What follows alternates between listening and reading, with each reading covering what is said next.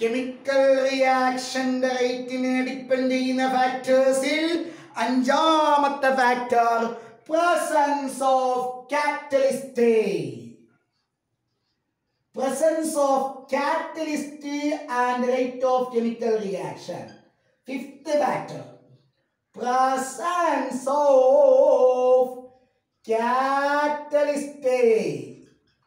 ഇതിപ്പോ നിങ്ങൾ ആദ്യമായിട്ട് കേൾക്കുന്ന ഒരു ടേമാണ് കാറ്റലിസ്റ്റ് ആരായി ചങ്ങായി? ഇവിടെ കുറെ കെമിസ്ട്രി പഠിക്കുന്നിടത്തോളം കാലം നിങ്ങൾക്ക് ഇയാളെ കേൾക്കാൻ വേണ്ടി സാധിക്കും. ആരാണ് ഈ ചങ്ങായി? നമുക്കറിയണ്ടേ? ഈ കെമി കാറ്റലിസ്റ്റ് കാറ്റലിസ്റ്റ് എന്ന് പറഞ്ഞ ആളാരും അറിയണ്ടേ? അതിന്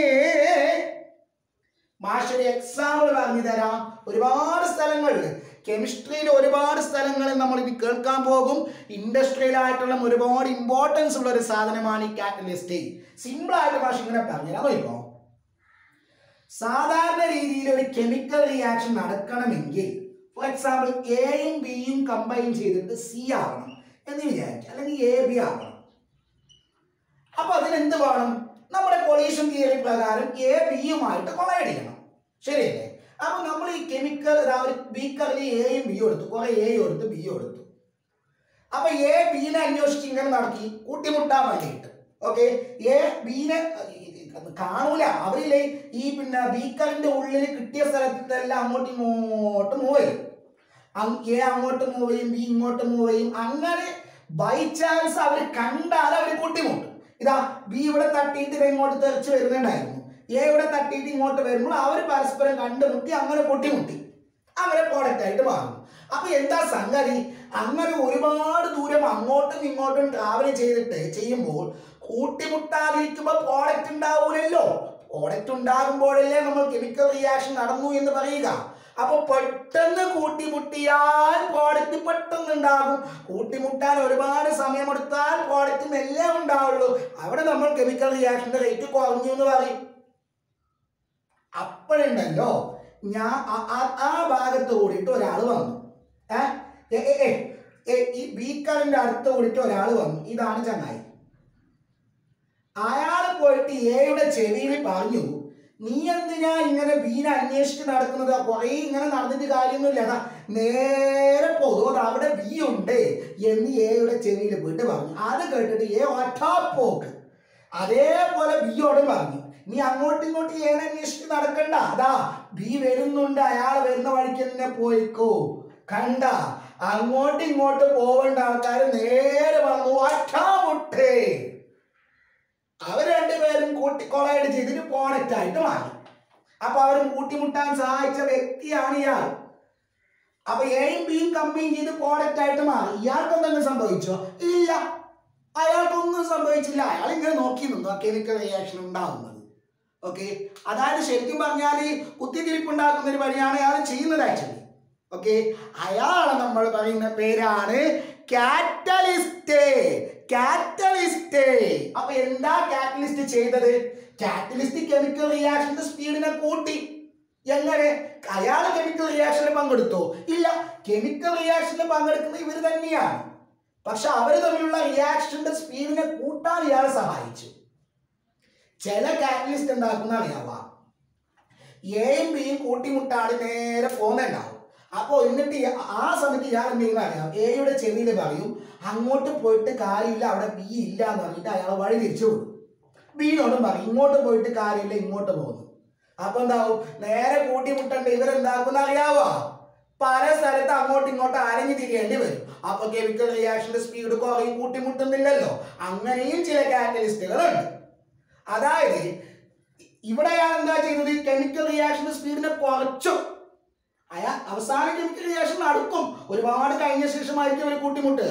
പ്രോഡക്റ്റ് ഉണ്ടാവും പക്ഷെ ഒരുപാട് സമയം എടുക്കും. അതാണ് സ്പീഡ് കുറവാണ് അവൻ അപ്പൊ ഇങ്ങനെയും കാറ്റലിസ്റ്റുകളുണ്ട് അപ്പൊ കാറ്റലിസ്റ്റ് ആരെന്ന് ചോദിച്ചാൽ കാറ്റലിസ്റ്റ് ആർ ദി സബ്സ്റ്റൻസസ് ഇതൊരു കെമിക്കലാട്ടോ ഞാനിപ്പോ ഒരു ഈ രീതിയിൽ വരച്ചിട്ടുണ്ട്. അതൊരു കെമിക്കലാണ് എക്സാമ്പിൾ നമ്മൾ പറയാം.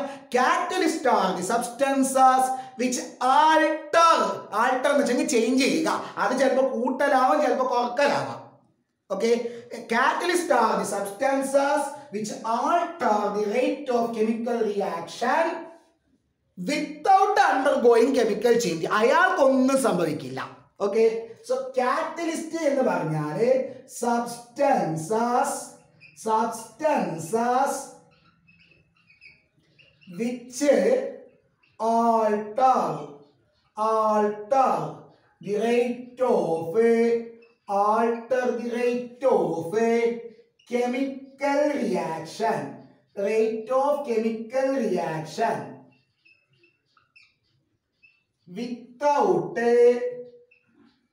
undergoing without undergoing any chemical change without undergoing any chemical change അയാൾക്കൊരു കെമിക്കൽ ചേഞ്ച് സംഭവിക്കില്ല any chemical change okay substances which alter the rate of chemical reaction without undergoing any chemical change എങ്ങനെയുണ്ട് simple ഞാൻ example പറയട്ടെ catalyst ആരും മനസ്സിലാക്കിയ catalyst chemical റിയാക്ഷനിൽ പങ്കെടുക്കുക ഇല്ല അയാൾ അയാൾ അങ്ങനെ ഉണ്ടാവും.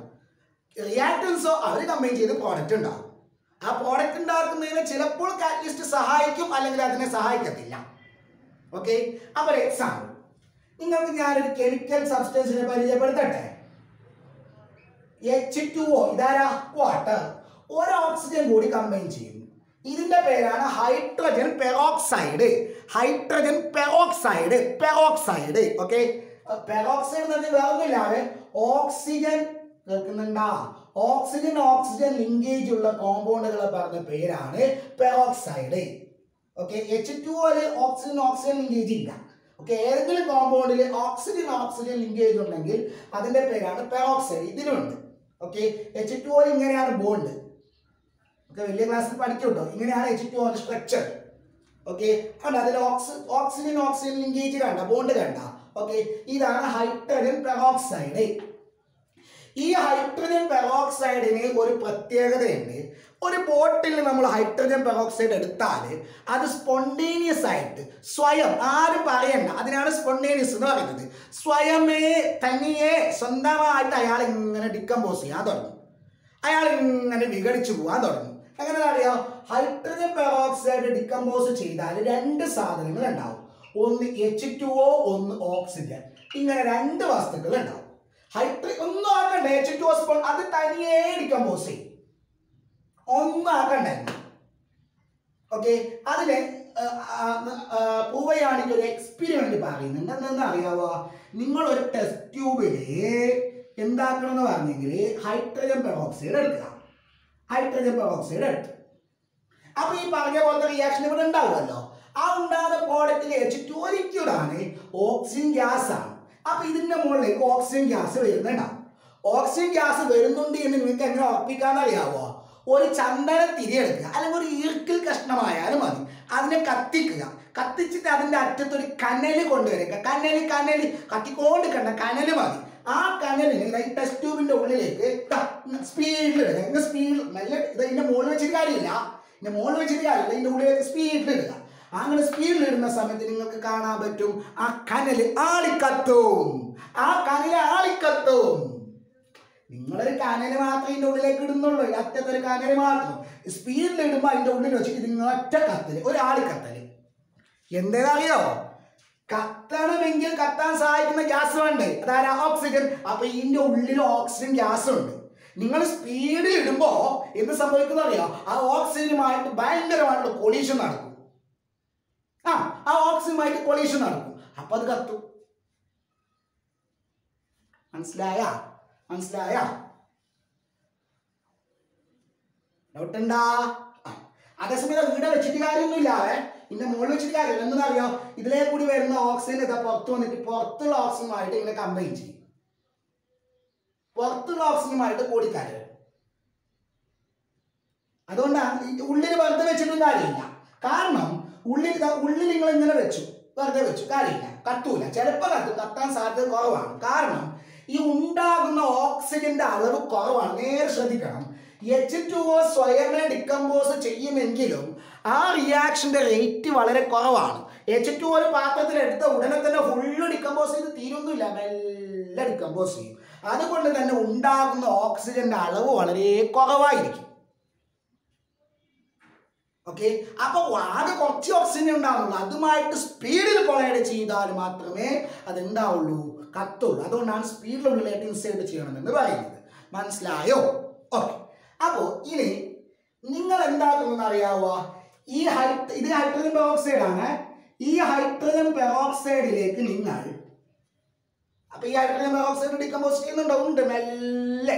അതിലേക്ക് നിങ്ങൾ ഒരു വസ്തു ആഡ് ചെയ്യുന്നു അയാളെ പേരാണ് എം എൻ ഒ ടു ആരെ? എം എൻ ഒ ടു എന്താ M N manganese manganese O two എന്ന് പറഞ്ഞാൽ രണ്ട് oxygen dioxide manganese dioxide C two എന്താ? കാർബൺ ഡയോക്സൈഡ് അതേപോലെ M N O two manganese dioxide ഞാനിതാ ഇതിലേക്ക് മാംഗനീസ് ഡയോക്സൈഡ് ആഡ് ചെയ്തു മാംഗനീസ് ഡയോക്സൈഡ് ആഡ് ചെയ്ത ശേഷം മാംഗനീസ് ഡയോക്സൈഡ് താഴെ വന്നു. ഇതാണ് manganese dioxide manganese dioxide add ചെയ്ത ശേഷം നിങ്ങൾ ആ കനൽ കൊണ്ടുവരിക. കാരണം ഇത് വേണ്ട ആ കനൽ ഇതിന്റെ ഉള്ളിലേക്ക് വെക്കും. വെച്ചാൽ മതി. ഒന്നും ഇങ്ങനെ ഒന്നാക്കണ്ട അവിടെ വെച്ചു കൊടുത്താൽ മതി. ഉടനെ തന്നെ നാളെ കത്തും സ്പീഡിൽ ഇൻസെർട്ട് ഒന്നും വേണ്ട. ഉടനെ അത് ആളി കത്തും സ്പീഡിൽ ഇൻസെർട്ട് ചെയ്യണ്ട. കുറച്ചുള്ളിലായിട്ട് ഇങ്ങനെ വെച്ചാൽ മതി.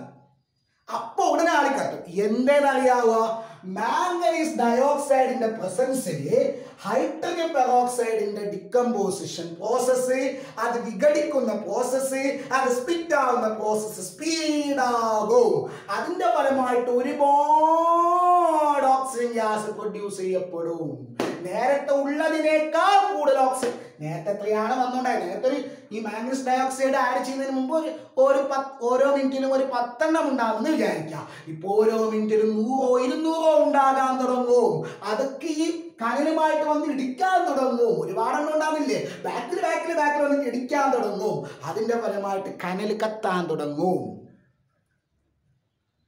ഓക്കെ കുറെ കഴിയുമ്പോൾ എച്ച് ടു ഓയിൽ ഫുള്ള് തീരും ഓക്സിജൻ തീരും ഇത് തീർന്നാൽ പിന്നെ ഇതുണ്ടാവില്ലല്ലോ ഓക്കെ അപ്പൊ എന്ത് മാത്രം ബാക്കി ഉണ്ടാവും എച്ച് ടു ഒക്കെ ഫുള്ളായിട്ട് ഡിക്കമ്പോസ് ചെയ്ത് കഴിഞ്ഞാൽ ഈ വെള്ളവും ഓക്സിജനുമായിട്ട് മാറും. ഓക്സിജൻ ഗ്യാസ് ആയിട്ട് എസ്കേപ്പ് ചെയ്യും. അപ്പൊ ഇവിടെ താഴെ ബാക്കി ആര് ഉണ്ടാവും? അത് എച്ച് ടു ആയിട്ട് വെള്ളം മാത്രം ബാക്കി ഉണ്ടാവും അല്ലെ? കൂടാതെ ആ വെള്ളത്തിന്റെ താഴെ നമ്മൾ നേരത്തെ ആഡ് ചെയ്ത സാധനം ഉണ്ടാവും. നമ്മൾ നേരത്തെ ആഡ് ചെയ്ത് എമ്മനോട്ടുണ്ടല്ലോ അയാളും ഉണ്ടാവും. അയാൾക്കൊന്നും സംഭവിച്ചിട്ടുണ്ടാവില്ല. നിങ്ങൾ ഒരു അഞ്ച് ഗ്രാം ഇട്ടിട്ടുണ്ടെങ്കിൽ അഞ്ച് ഗ്രാം അവിടെ ഉണ്ടാകും. അത് എം എൻ ഒ ടു ആയിട്ട് തന്നെ ഉണ്ടാവും. അയാൾ വേറെ ഒന്നും ആയിട്ട് മാറിയിട്ടുണ്ടാവൂല. അപ്പൊ അയാൾ എന്താ ചെയ്തത്? എം എൻ ഒ ടു എന്താ ചെയ്തത്? അയാൾ എച്ച് ടു ഒ ടുവിന്റെ ഡിക്കമ്പോസിഷൻ പ്രോസസ്സിനെ സ്പീഡാക്കി പക്ഷെ അയാൾക്ക് എന്തെങ്കിലും പറ്റിയില്ലോ? ഇല്ല. അങ്ങനെയാണെങ്കിൽ അയാൾ ആരാണ്? അയാൾ കാറ്റലിസ്റ്റ് ആണ്. So M N O two is a catalyst അയാൾ എന്താ ചെയ്തത്? കെമിക്കൽ റിയാക്ഷൻ റേറ്റിനെ കൂട്ടുകയാണ് ചെയ്തത്. കെമിക്കൽ റിയാക്ഷന്റെ റേറ്റിനെ കൂട്ടുന്നുണ്ടെങ്കിൽ അയാളുടെ പേരാണ് പോസിറ്റീവ് കാറ്റലിസ്റ്റ് എന്ത് കാറ്റലിസ്റ്റ് പോസിറ്റീവ് കാറ്റലിസ്റ്റ് അപ്പൊ ഒരു എക്സാമ്പിൾ പറയാം. പോസിറ്റീവ് കാറ്റലിസ്റ്റിന് പോസിറ്റീവ് കാറ്റലിസ്റ്റിന് എക്സാമ്പിൾ ആണ് എം എൻ ഒ ടു എവിടെ? എച്ച് ടു ഒ ടുന്റെ ഡിക്കമ്പോസിഷനിൽ M N O two add ചെയ്താൽ ആ ഡിക്കമ്പോസിഷൻ പ്രോസസ്സ് സ്പീഡാകും ഓക്കെ അതെങ്ങനെയെന്ന് കണ്ടല്ലേ നിങ്ങൾ? നിങ്ങൾ ഇനി എന്താക്കുന്ന അറിയാവോ? ഇനിയാണ് ഇനി കാര്യപ്പെട്ട ഒരു സംഗതി. നിങ്ങൾ എം എൻ ഒ ടുവിന് പകരം വേറൊരാളെ കൊണ്ടുവന്ന് ചേർത്തു. അയാളെ പേരാണ് H three P O four നിങ്ങൾ ആഡ് ചെയ്യുന്നത്? ആരെയാണ് H three P O four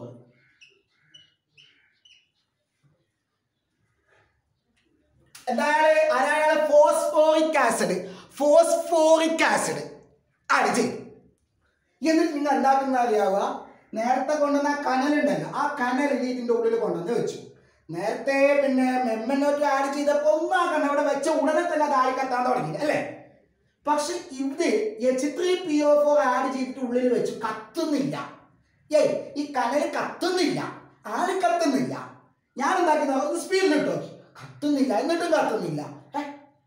നേരത്തെ എം എൻ ഒറ്റ ആഡ് ചെയ്തപ്പോൾ പെട്ടെന്ന് കത്തി. അവിടെ വെക്കുമ്പോൾ വെക്കുമ്പോൾ തന്നെ. എം എൻ ഒ ആഡ് ചെയ്യാത്തപ്പോഴോ ഒന്നിങ്ങനെ സ്പീഡാക്കുന്ന സമയത്ത് കത്തി. ഇപ്പൊ എന്താക്കിയിട്ടും കത്തുന്നില്ല. അതെന്ത്? എന്തേതറിയാവോ ഇപ്പൊ അവിടെ നേരത്തെ ഉണ്ടായതിനേക്കാളും കുറവാണ് ഓക്സിജന്റെ അളവ് ഉണ്ടാകുന്ന ഓക്സിജന്റെ അളവ്. അതായത് H three P O four എന്ന് പറഞ്ഞ സാധനം ഉണ്ടാക്കിയെന്ന് അറിയാവോ എച്ച് ടു ഒ ടുന്റെ ഡിക്കമ്പോസിഷന്റെ റേറ്റിന് കുറച്ചു കൂട്ടിയതുമില്ല അതേപോലെ വെച്ചതുമില്ല. അതിനൊന്ന് കുറച്ച് കളഞ്ഞു. അതിന്റെ ഫലമായിട്ട് ഉണ്ടാകുന്ന ഓക്സിജന്റെ അളവ് കുറഞ്ഞു. ആ അപ്പൊ അയാൾ എന്താ ചെയ്തത്? റിയാക്ഷൻ ഇയാൾക്കൊന്നും സംഭവിക്കത്തൂല്ല. എച്ച് സംഭവിക്കത്തുമില്ല റിയാക്ഷന്റെ റേറ്റിനെ കുറക്കുകയും ചെയ്യുന്നു. അങ്ങനെയാണെങ്കിൽ ഇയാൾ എന്താ ചെയ്തത്? ആൾട്ടർ എന്നുള്ള സ്ഥലത്ത് അയാൾ എന്താ ചെയ്തത്? ഡിക്രീസ് ചെയ്തു. കെമിക്കൽ റിയാക്ഷന്റെ റേറ്റിനെ ഡിക്രീസ് ചെയ്തു. അയാൾക്ക് മാറ്റമൊന്നും ഇല്ല. അങ്ങനെയാണെങ്കിൽ mister H three P O ആരാണ്? അയാൾ ഒരു റിയാക്ഷന്റെ റേറ്റിനെ കുറക്കുന്ന കാറ്റലിസ്റ്റ് ആണ്. അയാളെ പറഞ്ഞ പേരാണ് നെഗറ്റീവ് കാറ്റലിസ്റ്റ് ഓക്കെ അപ്പൊ കാറ്റലിസ്റ്റ് എന്താണ് എന്നും ആ കാറ്റലിസ്റ്റ് രണ്ട് ടൈപ്പിലുണ്ട് എന്ന് മനസ്സിലായി. അതിൽ പോസിറ്റീവ് കാറ്റലിസ്റ്റ് റിയാക്ഷന്റെ റേറ്റിനെ കൂട്ടും നെഗറ്റീവ് കാറ്റലിസ്റ്റ് റിയാക്ഷന്റെ റേറ്റിനെ കുറക്കും. കുറക്കും. കുറച്ചിട്ടോ? അതിന് ഓരോന്ന് എക്സാമ്പിൾ പറ. പോസിറ്റീവ് കാറ്റലിസ്റ്റിൽ എച്ച് ടു ഒ ടുവിന്റെ ഡിക്കമ്പോസിഷനിൽ M N O two positive catalyst ആണ്. അതേ റിയാക്ഷനിൽ H three P O four ഒരു നെഗറ്റീവ് കാറ്റലിസ്റ്റ് ആണ്. ഓക്കെ ഇനി രണ്ട് എക്സാമ്പിളുകൾ കൂടി. പോസിറ്റീവ് കാറ്റലിസ്റ്റിന് കുഞ്ഞുമക്കൾ രണ്ട് എക്സാമ്പിൾ കൂടി പഠിക്കണം. വളരെ ഇമ്പോർട്ടന്റ് ആയിട്ടുള്ള രണ്ട് എക്സാമ്പിൾ ആണ്. ഇൻഡസ്ട്രിയൽ ആയിട്ടും ഉപയോഗിക്കുന്ന രണ്ട് എക്സ് കാറ്റലിസ്റ്റുകൾ ഓക്കെ സൾഫ്യൂരിക് ആസിഡ് എന്ന് കേട്ടിനാ? സൾഫ്യൂരിക് ആസിഡ് എന്ന് കേട്ടില്ല in the production of sulphuric acid ആരാ sulphuric acid king of chemicals ഒരുപാട് ആവശ്യങ്ങൾക്ക് വേണ്ടി ഇൻഡസ്ട്രിയൽ ആയി ഐ മീൻ ഒരുപാട് ഒരുപാട് ഒരുപാട് ആവശ്യങ്ങൾക്ക് വേണ്ടി ഉപയോഗിക്കുന്ന കെമിക്കലാണ് സൾഫ്യൂരിക് ആസിഡ് അതിന്റെ പ്രൊഡക്ഷൻ ലാർജ് എമൗണ്ടിൽ നടത്തണം അല്ലെ? അതിന് അതിന്റെ കെമിക്കൽ റിയാക്ഷന്റെ റേറ്റ് കൂട്ടണം. പെട്ടെന്ന് റിയാക്ഷൻ നടത്താൻ വേണ്ടിയിട്ട് അവിടെ ഒരു കാറ്റലിസ്റ്റ് ആഡ് ചെയ്യുന്നുണ്ട്.